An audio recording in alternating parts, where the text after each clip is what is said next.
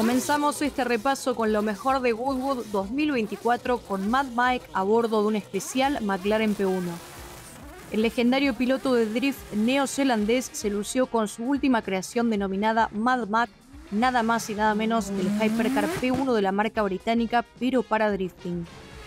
Batallando espectacularmente con el auto sobremojado y consiguiendo que los cuatro neumáticos echaran humo en seco, el Mad Mac entusiasmó a los miles de aficionados reunidos en el festival.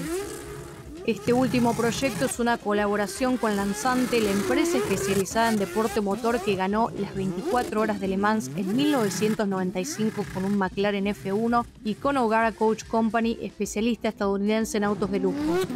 Construido en su taller Mad Lab de Hampton Downs, al sur de Oakland, el Mad Mac es también el homenaje de Mike al ganador de Fórmula 1, campeón de Le Mans fundador del equipo y compatriota Bruce McLaren, que justamente falleció en Goodwood.